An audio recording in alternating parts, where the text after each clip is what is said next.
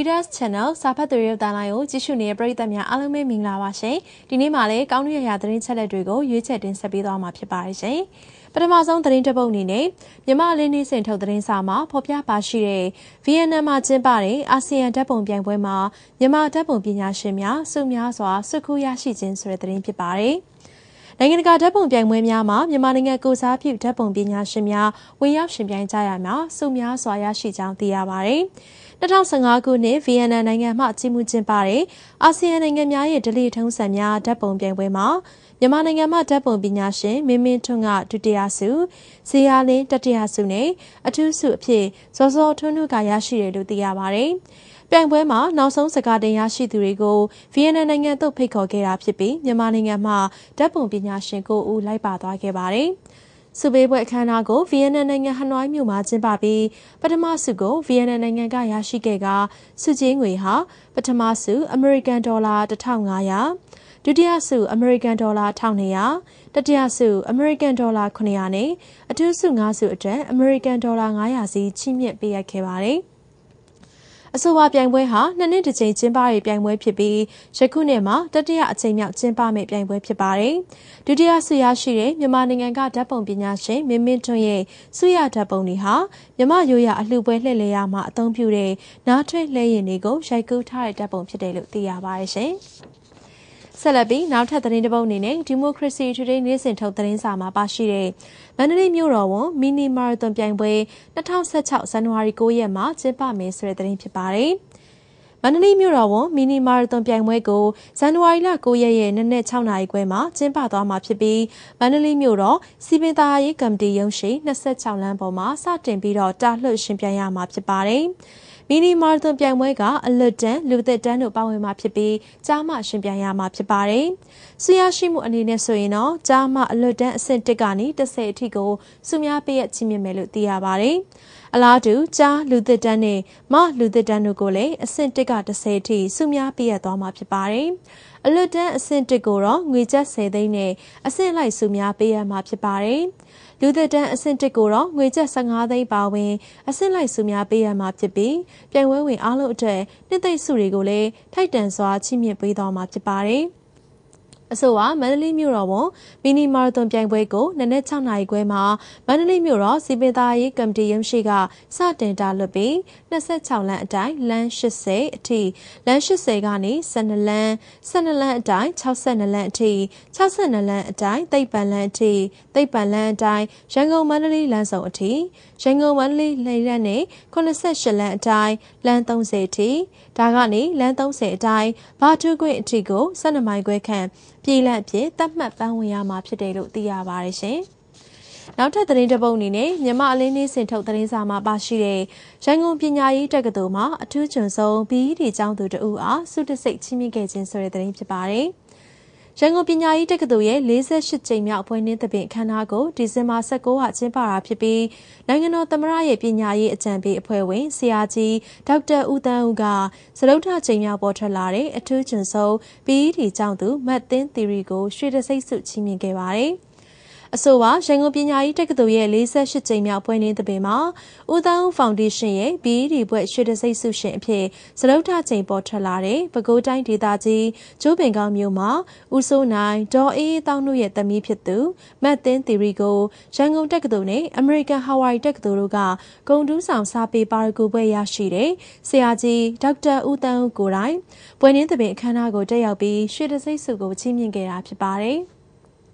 အဆိုပါပွဲနှင်းသဘင်ခမ်းနားမှာ2023ခုနှစ်45ကြိမ်မြောက်ပွဲနှင်းသဘင်အခမ်းအနားမှာ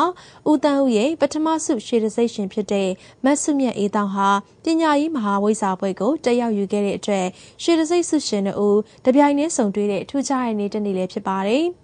ဆရာကြီးဦးတန်းဦးဟာရန်ကုန်ပညာရေးတက္ကသိုလ်နဲ့စကိုင်းပညာရေးတက္ကသိုလ်နီးတူအထက်တန်းပြဆရာများလေ့ကျင့်ပြိုးထောင်ပေးရာစကိုင်းမြို့မှာရှိတဲ့ပြည်အောင်စုတိုင်းရင်းသားလူမျိုးများဖွံ့ဖြိုးရေးတက္ကသိုလ်မှာ BED ပညာရေးဘွဲ့ရရှိသူတွေအနက်ပထမအဆင့်နဲ့ထူးချွန်စွာအောင်မြင်သူတဦးကိုလည်း2016-2019ပညာသင်နှစ်မှာပထမအဆုံးချိန်ရွှေတစိမ့်စုဆက်လက်ချီးမြှင့်ဖို့စီစဉ်ဆောင်ရွက်လျက်ရှိတယ်လို့သိရပါတယ်ရှင်။ ဆက်လက်ပြီးနောက်ထပ်သတင်းတစ်ပုဒ်အနေနဲ့ဒီမိုကရေစီတူဒေးမှာပါရှိတဲ့ကြောက်စိမ့်စီရီတော်ဖျားဖို့များအားလုံခြုံရေးအရာညာအိတ်တဲခိုခွင့်မပြုတော့ဘူးဆိုတဲ့သတင်းဖြစ်ပါတယ်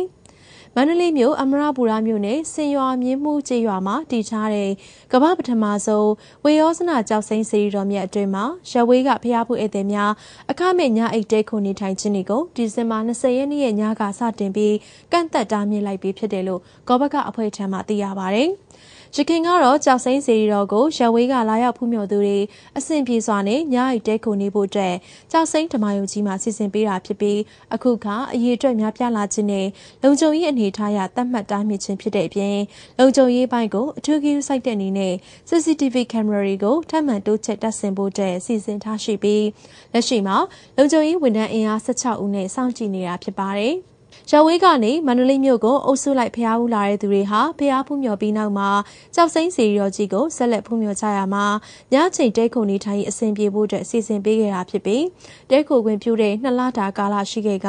တရက်ကိုဖျားဖူးရေအတွက်60ကျော်ထိလက်ခံပေးတယ်လို့သိရပါတယ်။လုံခြုံရေးအတွက်စိတ်မချတာတကြောင်ကြောင့်ကောဘကအဖွဲ့ရဲ့အစည်းအဝေးဆုံးဖြတ်ချက်အရအခုလိုခွင့်မပြုတော့တာဖြစ်တယ်လို့နောက်မှလည်းတဲခုရေးအတွက်စီစဉ်ပေးဖို့မရှိဘူးလို့သိရပါတယ်။လူစီကားတဲ့နေရာတနေရာဖြစ်တာကြောင့်ဖျားဘူးတွေထဲမှာကပိုင်းနှိုက်တွေရောရောင်ပါလာနိုင်တာကြောင့်လောလောဆယ်မှာ CCTV ကင်မရာအလုံးရေ40ကိုတပ်ဆင်ထားတာဖြစ်ပါတယ်။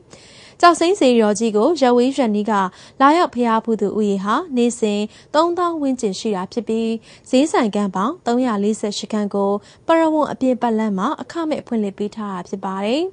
ထပ်မံတိုးချဲ့မဲ့မြေနေရာပေါ်မှာဆိုင်ကန်းတွေကိုစနစ်တကျပြန်လည်နေရာချထားဖို့စီစဉ်ပြီးကမ္ဘာကိန်းနဲ့စံချိန်ဝင်ဇေယျတော်ကြီးဖြစ်စေဖို့ဆက်လက်ဆောင်ရွက်သွားမှာဖြစ်တယ်လို့ဂောဘကအဖွဲ့ထံမှသိရပါတယ်ရှင်။ဆက်လက်ပြီးနောက်ထပ်သတင်းတစ်ပုဒ်အနေနဲ့စံတော်ချိန်နေ့စဉ်ထုတ်သတင်းစာမှာဖော်ပြပါရှိတဲ့ပထမဆုံးမြန်မာနိုင်ငံအလှကုန်အသင်းဖွဲ့စည်းခြင်းဆိုတဲ့သတင်းဖြစ်ပါတယ်။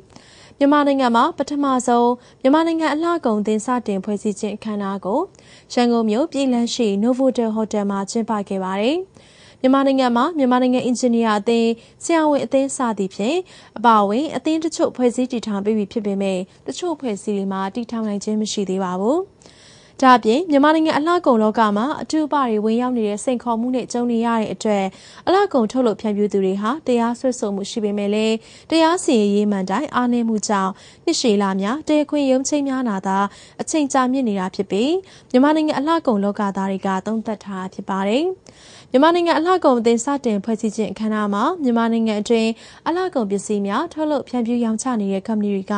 မြန်မာနိုင်ငံအလှကုန်အသင်းကိုအလှငွေများပေးအပ်ခဲ့ပြီးစုစုပေါင်းအလှငွေကျပ်သိန်း450ခန့်ရှိတယ်လို့သိရပါတယ်ရှင်။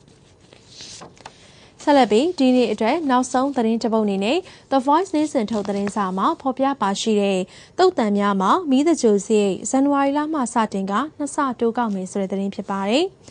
ရန်ကုန်မြို့တော်မှာရှိတဲ့တုတ်တန်နေမှာမိသက်ကြိုစည်းကိုလာမယ့်ဇန်နဝါရီလကစတင်ပြီးနှစ်ဆတိုးမြင့်ကောက်ခံမှာဖြစ်ပြီးရန်ကုန်မြို့တော်စီပင်သားရေးကမတီပတ်ဝန်းကျင်ထိန်းသိမ်းရေးနဲ့တန်ရှင်းရေးဌာနကအကြီးအကဲအရာရှိတို့ကပြောကြားခဲ့တာဖြစ်ပါတယ်။အခုလိုတိုးမြင့်ကောက်ခံရတဲ့အကြောင်းရင်းကတော့မိသက်ကြိုရာမှာအသုံးပြုရမယ့်လောင်စာစီအလောင်းတည်ယူစီကုန်ကြမှုမြင့်တက်လာခြင်းကြောင့်ဖြစ်ပြီးတကြိုစီတိုးမြင့်ကောက်ခံဖို့သက်ဆိုင်ရာတုတ်တန်တာဝန်ရှိသူတွေကအသိပေးထားတာဖြစ်ပါတယ်။ ရန်ကုန်မြို့မှာရှိတဲ့ရေဝေကျူချောင်းတဝဲချောင်းထိမ့်မြအပါဝင်တုတ်တန်တွေမှာမိသကြိုစရိတ်ကိုလူကြီး2000ခလေး1000သတ်မှတ်ထားတာဖြစ်ပြီးဇန်နဝါရီလကစပြီးတော့လူကြီး4000ခလေး2000နှုန်းနဲ့နှစ်ဆကောက်ခံသွားမှာဖြစ်ပါတယ်။တုတ်တန်တွေမှာအလောင်းတွေကိုတရက်လျင်အေးခန့်ကငွေကျပ်1500နဲ့ကောက်ခံပြီးဒါကိုရန်ကုန်မြို့တော်စီပင်သားရေးကမတီပတ်ဝန်းကျင်ထိန်းသိမ်းရေးနဲ့တန်ရှင်းရေးဌာနထံမှသိရတာပါ။ မီးသကြိုစရိတ်နှစ်ဆမြင့်တက်လာတဲ့အတွက်အလှငွေကလည်းနှစ်ဆကုန်ကြတော့မှာဖြစ်ပြီးရခင်ကအလောင်း20ကိုတကြိုနိုင်တဲ့ငွေပမာဏနဲ့အခုကအလောင်း10လောက်ကိုသာတကြိုနိုင်တော့မှာဖြစ်တယ်လို့နိုင်ရေးကူညီမှုတင်ရန်ကုန်မှဒုတိယဥက္ကဋ္ဌဒေါ်တမ်းမြောင်ကပြောကြားခဲ့ပါတယ်ရှင်။ ဒီနေ့မှာမင်္ဂလာပါအစီအစဉ်ကလေတင်ဆက်ပေးခြင်းတဲ့သတင်းကြောင်းရာများတော့ဒီလောက်ပါပဲ။မှန်ကန်တိကျတဲ့သတင်းတွေကိုပံ့ပိုးပေးတဲ့နေ့စဉ်ထုတ်သတင်းစာတွေကိုကျေးဇူးအထူးပဲတင်ပါတယ်။မင်္ဂလာပါအစီအစဉ်ကိုအားပေးကြည့်ရှုတဲ့သတင်းချစ်သူများကိုလည်းကျေးဇူးအထူးပဲတင်ပါတယ်ရှင်။